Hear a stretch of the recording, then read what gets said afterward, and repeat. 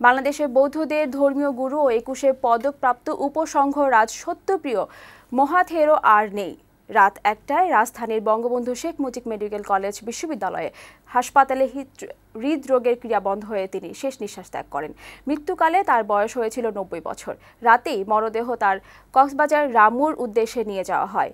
শেষকৃত্য অনুষ্ঠান পরে আনুষ্ঠানিকভাবে জানানো হবে বলে জানিয়েছেন বাংলাদেশ বুদ্ধিস্ট ফেডারেশনের সাধারণ সম্পাদক ভিক্ষু সুনন্দ প্রিয়। তার মৃত্যুতে শোক জানিয়েছেন প্রধানমন্ত্রী শেখ হাসিনা।